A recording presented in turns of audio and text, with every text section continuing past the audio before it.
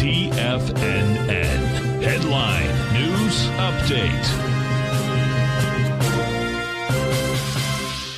Welcome, folks. We have the Dow Industrials trading up 685, Nasdaq's up 416, S&P's up 112. That's a gain inside the Nasdaq, folks, of 3.3%. Inside the uh, S&P, 2.67. Dow Industrials 2. Gold, gold contract trading up 460 at 18.93 an ounce. We have silver down 26. 29 cents at $23.16 an ounce. Light sweet crude up 343, $105. 42 a barrel notes and bonds. The 10 year note down 13 ticks, trading 119.12.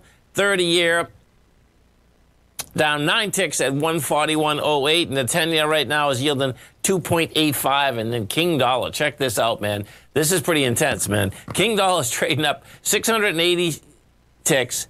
103.666. Now that's not the heavy pot. The heavy pot, folks, is this: is that King Dollar is going after its highs, and you know, you, it, the bearish part of this, you could say you got a triple top. The bullish part is that you have these wide price bars that, you know, wide price bars like to go higher, folks.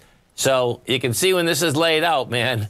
Uh, you break this area. You know, we got to 103.928. You get to like 105, 121's coming at us. Okay, the highs that were generated in 2002. So this is about as intense as you can get. It's amazing to me that the gold market is actually holding up with that aspect of the U.S. dollar. We get over we take a look at the SPY. What you have with the SPY, you're off the lows here. Bottom line, we'll see whether this thing can hold. You don't have any volume. That's the real bottom line. You get 69 million shares in the SPY coming coming against 132. You know, coming into a Friday, you're not going to have volume tomorrow. So the bottom line is that we'll see whether it gets over the highs, closes underneath the highs. My take is that we're still building cause to get into and take out the low in the SPY, which is that 410. We go into the NDX 100. We take a look at the NDX, same type of setup. NDX has a little more volume going for today.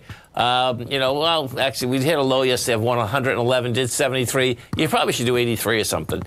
Um, and if you get a bounce, the Qs can get to 350, 335. You're at 328 right now.